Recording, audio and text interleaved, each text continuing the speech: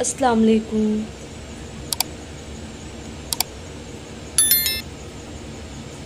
बना रही है डेयरी मिल्क से आइसक्रीम जिसके लिए मैं दो डेयरी मिल्क, चीनी, ये मैंगो कस्टर्ड पाउडर है। एक मैंगो जिसे मैं छोटा छोटा पीस में कट कर ली हूँ। ये खजूर, पिस्ता, बादाम, काजू फुल क्रीम दूध अब सबसे पहले एक मैं पतीला ले ली, चूल्हे को मैं जला ली। अब थोड़ा ये गर्म हो जाए। आप इसमें पानी कुछ ना डालें, दूध, पानी कुछ नहीं देखें। मैं सिर्फ़ चीनी इसमें डाल दूँगी।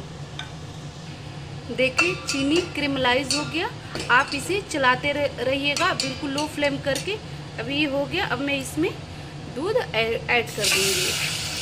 दूध आप फुल क्रीम लीजिएगा तो ज़्यादा अच्छा होगा। ये देखिए, ये अच्छे से मिक्स हो गया।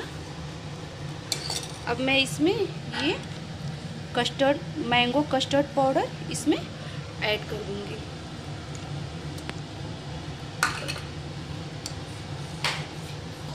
देखिए, ये हो गया। इतना ही थिक चाहिए। अब मैं चूल्हे को बंद कर दूँगी।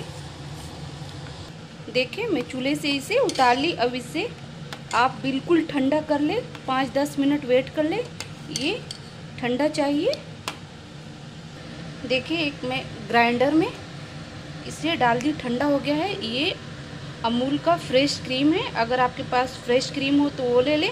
नहीं तो इसके जगह आप मलाई दूध से निकालते हैं, ताज़ा हो तो वो भी ले सकते हैं।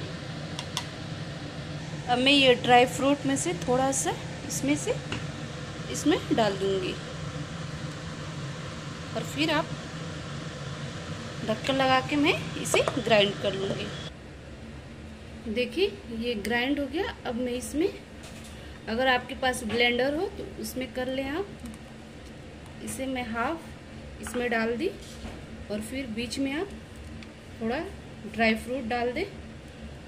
और ये ये कट किया हुआ मैंगो इसमें डाल देंगे और ये डेयरी मिल्क इसे इसमें क्रश कर लें। देखिए इसे एक लेयर में अच्छे से इस पर डाल दी और फिर ये जो बचा है, इसको ऊपर आप अच्छे से डाल दें। और फिर मैं ये इसके ऊपर मैंगो फैला दूँगी, अच्छे से।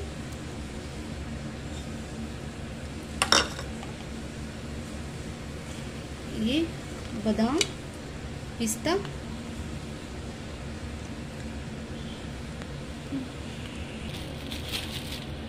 ऑन कर देखिए ये एक पन्नी है जिसमें सामान कुछ आता है। ये चीनी का पन्नी था, इसमें शुगर आया हुआ था।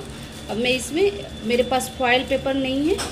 नहीं तो आप, अगर आपके पास फॉयल पेपर हो तो वो आप इसके ऊपर अच्छे से, ऐसे, बिल्कुल अच्छे से इसे कवर कर लीजिएगा। बिल्कुल इसमें एयर नहीं जाना चाहिए और कम से कम इसे 12 से 13 घंटा इसे फ्रीज़र में आप रख दें।